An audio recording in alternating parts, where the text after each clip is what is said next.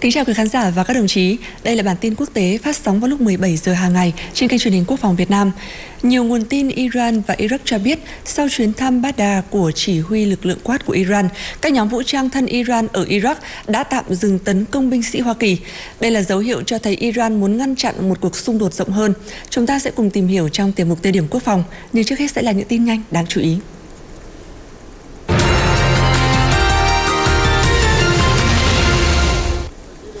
Bộ Quốc phòng Nga ngày 18 tháng 2 cho hay các lực lượng Ukraine đã bắt đầu rút khỏi thành phố chiến lược Abdika ở Donbass một ngày trước khi mệnh lệnh chính thức được ban hành từ Tổng tư lệnh Alexander Sursky. Lực lượng Nga kiểm soát Abdika hôm 17 tháng 2. Bộ Chỉ huy Ukraine khẳng định lực lượng nước này rút lui có trật tự theo lệnh của Tổng tư lệnh Sursky. Chính phủ Israel đã biểu quyết thông qua tuyên bố chính thức về việc phản đối mọi quyết định công nhận nhà nước Palestine độc lập. Tuyên bố khẳng định mọi sự sắp đặt liên quan đến người Palestine nếu đạt được sẽ chỉ có thể thông qua đàm phán trực tiếp giữa các bên mà không có điều kiện tiên quyết. Trong khi đó, chính quyền Palestine nhấn mạnh một nhà nước Palestine với Đông Jerusalem là thủ đô, đóng vai trò đặc biệt quan trọng trong tiến trình giải quyết cuộc xung đột Hamas-Israel và đảm bảo sự ổn định trong khu vực. Ngày 17 tháng 2, tại hội nghị thượng đỉnh lần thứ 37 của Liên minh châu Phi AU, các lãnh đạo châu lục này đã hối thúc ngay lập tức chấm dứt cuộc xung đột Hamas-Israel, đồng thời kêu gọi đoàn kết với người dân Palestine. Các nhà lãnh đạo AU cho rằng tình hình hiện nay ở giải Gaza càng phản ánh nhu cầu cấp thiết phải cải cách hệ thống quốc tế, vốn thiếu công bằng và có quá nhiều tiêu chuẩn khác nhau. Người phát ngôn cơ quan y tế giải Gaza xác nhận bệnh viện Nasser lớn thứ hai ở Gaza đã ngừng hoạt động hoàn toàn. Hiện chỉ có 4 nhân viên y tế đang tiếp tục hoạt động chăm sóc bệnh nhân. Bệnh viện Nasser tại thành phố Khan Yunis ở phía nam Gaza vẫn là nơi điều trị những người bị thương và chịu ảnh hưởng bởi cuộc khủng hoảng sức khỏe ngày càng tồi tệ trong bối cảnh không có điện và thiếu nhân viên. Theo truyền thông Israel, một tàu chở hàng đã được đăng ký bởi một công ty Anh đã bị tấn công khi đi qua eo biển Bab al-Madaf gần Biển Đỏ. Cơ quan điều hành thương mại hàng hải Vương quốc Anh tuyên bố nhận được báo cáo về việc tàu chở hàng hư hại do một vụ nổ, nhưng thủy thủ đoàn và con tàu vẫn an toàn. Lực lượng Houthi ở Yemen chưa bình luận về thông tin này. Theo hãng tin Yonhap, ngày 19 tháng 2, Triều Tiên đã kêu gọi trung thành với nhà lãnh đạo Kim Jong-un và ca ngợi hệ thống lãnh đạo nguyên khối khi nước này kỷ niệm 50 năm ngày công bố nguyên tắc chỉ đạo then chốt của đất nước. Trong một bài xã luận, tờ báo chính của Triều Tiên Rodong Sinmun đã nêu bật tuyên bố của cố lãnh đạo Kim Jong-un vào năm 1974 về nguyên tắc tư tưởng vững chắc của chủ nghĩa Kim Il-sung.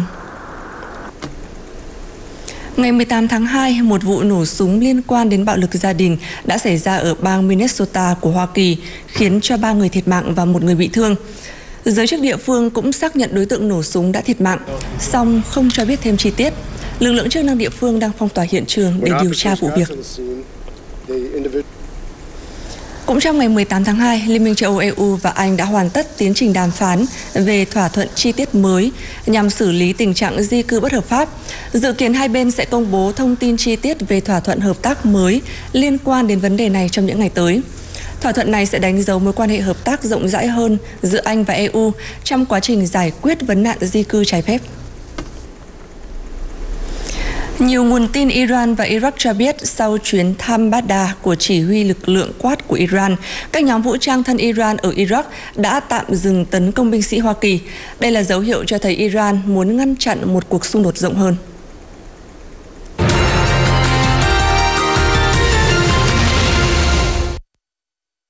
Hãng tin Reuters ngày 18 tháng 2 dẫn các nguồn tin tại Iraq và Iran cho biết, chỉ huy đặc nhiệm Quds của lực lượng vệ binh cách mạng Hồi giáo Iran IRGC, tướng Esmail Kwani đã có cuộc gặp nhanh với đại diện của một số nhóm vũ trang tại sân bay Baghdad. Đáng chú ý, cuộc gặp tổ chức vào ngày 29 tháng 1, chưa đầy hai ngày sau vụ tấn công vào tháp 22 khiến ba binh sĩ Hoa Kỳ thiệt mạng. Tại cuộc gặp này, tướng Kwani nói rằng các nhóm nên giảm hoạt động để tránh các cuộc tấn công của Hoa Kỳ nhằm vào các chỉ huy cấp cao, phá hủy cơ sở hạ tầng quan trọng hoặc thậm chí là trả đũa trực tiếp Iran. Ngay sau đó, nhóm Kataib Hezbollah tuyên bố họ sẽ tạm dừng các cuộc tấn công và từ ngày 4 tháng 2 không có cuộc tấn công nào vào lực lượng Hoa Kỳ tại Iraq và Syria. Trong khi trước cuộc gặp của tướng Kwani, số vụ tấn công lên tới 20 vụ trong 2 tuần và là làn sóng bạo lực chưa từng có nhằm phản đối cuộc chiến của Israel tại Gaza.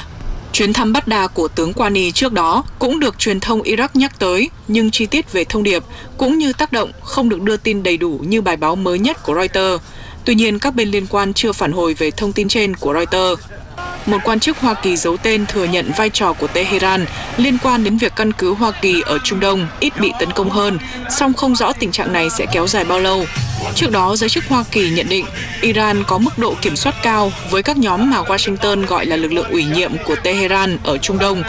Iran xác nhận đã tài trợ, cố vấn và đào tạo các nhóm trên, song nhấn mạnh những lực lượng này tự đưa ra quyết định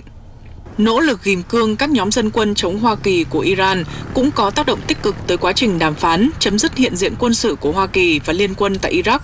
Trước đó, Iraq mong muốn chấm dứt vai trò của Liên minh quốc tế chống phiến quân nhà nước Hồi giáo IS tự xưng để chuyển sang hợp tác quân sự song phương với từng nước thành viên. Tuy nhiên, Washington vẫn tỏ ra không sẵn lòng đàm phán vì lo ngại việc này sẽ khuyến khích Iran mở rộng tầm ảnh hưởng trong khu vực.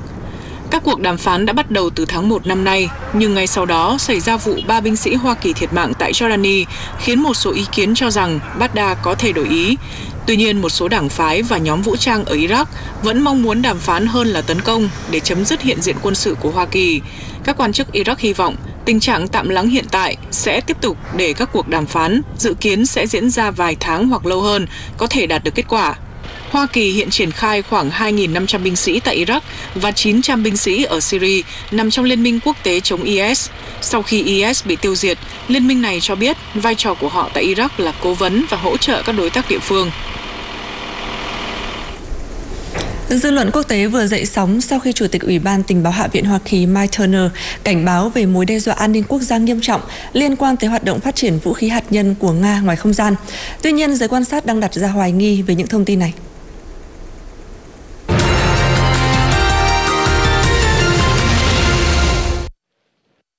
Truyền thông Hoa Kỳ dẫn các nguồn thạo tin cho biết Washington có thông tin tình báo mới liên quan tới hoạt động hạt nhân của Nga và những nỗ lực phát triển vũ khí trong không gian. Theo đó, giới chức quân sự và chính trị Washington lo ngại Moscow đang chuẩn bị phóng vũ khí hạt nhân vào không gian nhằm sẵn sàng tấn công mạng lưới vệ tinh và mục tiêu dưới mặt đất. Các nguồn tin nói rằng vũ khí này chưa hoạt động nhưng thông tin tình báo Hoa Kỳ thu thập được đủ để hạ nghị sĩ Mike Turner, Chủ tịch Ủy ban Tình báo Hạ viện Hoa Kỳ, đề nghị Nhà Trắng giải mật thông tin về mối đe dọa an ninh quốc gia nghiêm trọng. Thông tin trên, ngay khi xuất hiện, đã tạo ra cuộc thảo luận căng thẳng. Chủ tịch Hạ viện Hoa Kỳ Mike Johnson cho biết bản thân sẵn sàng giải quyết vấn đề này thông qua các cuộc thảo luận cần thiết. Giới phân tích theo dõi các chương trình không gian của Nga cho biết mối đe dọa trong không gian đó có thể không phải là đầu đạn hạt nhân mà là một thiết bị năng lượng cao cần năng lượng hạt nhân để thực hiện một số hoạt động quan trọng.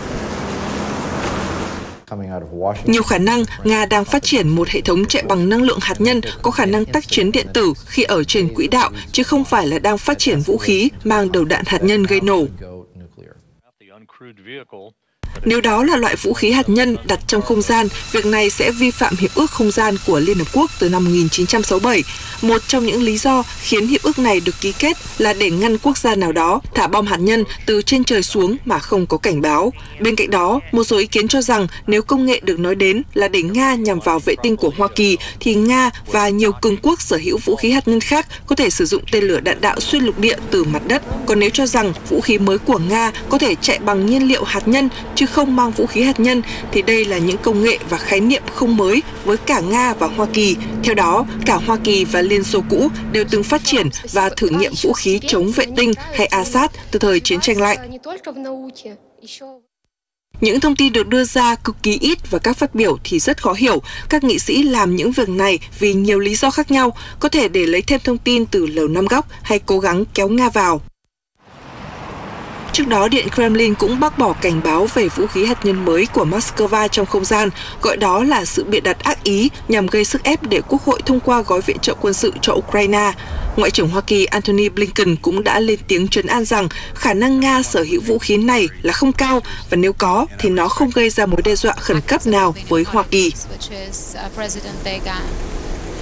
Sau 3 ngày hội nghị với hơn 200 sự kiện lớn nhỏ, hơn 900 đại biểu tham dự, trong đó có khoảng 50 nguyên thủ quốc gia và người đứng đầu chính phủ, hơn 100 bộ trưởng cũng như đại diện của các tổ chức tư vấn, tổ chức phi chính phủ và doanh nghiệp. Hội nghị an ninh Munich 2024 đã bế mạc vào ngày 18 tháng 2.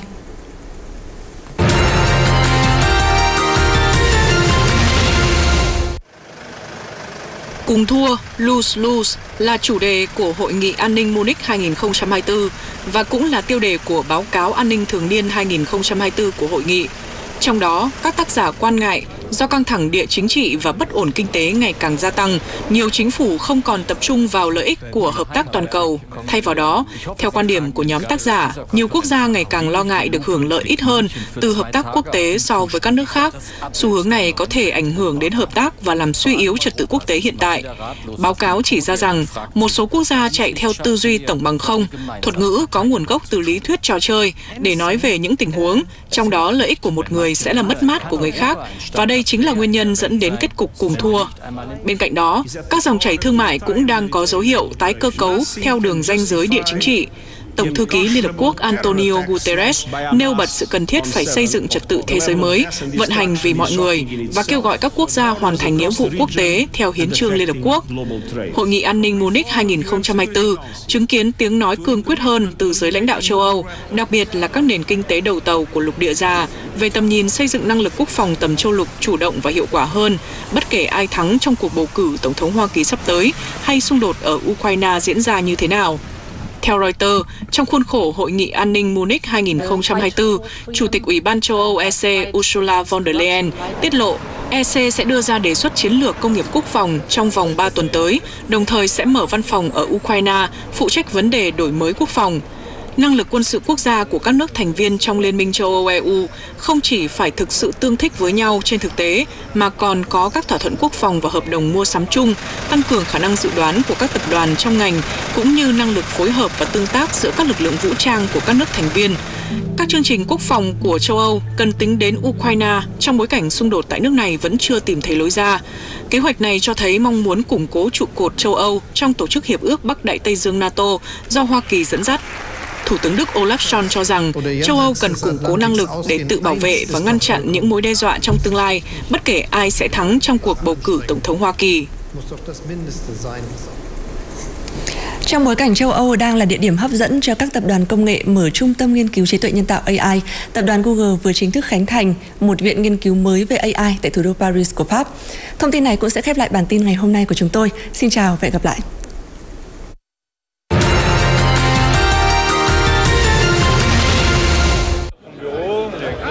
Giám đốc điều hành của Google Sundar Pichai cùng nhiều quan chức cấp cao của Pháp đã tham dự lễ khánh thành Viện Nghiên cứu mới của Google tại Paris. Trung tâm này đặt tại một tòa nhà mới cải tạo gần trụ sở chính của Google ở Paris sẽ đón tiếp khoảng 300 nhà nghiên cứu và kỹ sư. Tuy nhiên, điều đáng chú ý là Google đã tạo ra một trung tâm AI mới mà không có kế hoạch cụ thể từ trước. Thay vào đó, nhóm gồm 300 nhà nghiên cứu và kỹ sư được chuyển từ các phòng nghiên cứu hiện có của Google Research và DeepMind, cũng như từ các nhóm làm việc trên các sản phẩm như là YouTube và Chrome. Đây là thông điệp mạnh mẽ từ Google về cam kết của họ đối với lĩnh vực trí tuệ nhân tạo.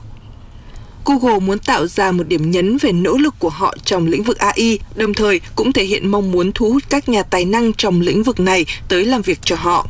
Đặc biệt, Paris đang trở thành một trung tâm nổi bật trong nghiên cứu và phát triển AI với sự xuất hiện của nhiều công ty khởi nghiệp và phòng thí nghiệm nghiên cứu của các tên tuổi lớn như là Facebook, Meta và Microsoft. Mặc dù Google đã là một trong những nhà lãnh đạo trong lĩnh vực công nghệ, nhưng việc này cũng cho thấy họ cảm thấy áp lực từ sự cạnh tranh và tiềm năng phát triển của AI. Điều này cũng đang phản ánh xu hướng chung của các công ty công nghệ lớn khi họ đều đang đầu tư mạnh mẽ vào AI và các lĩnh vực liên quan nhằm tạo ra ưu thế cạnh tranh và đảm bảo vị thế dẫn đầu trong thị trường công nghệ toàn cầu.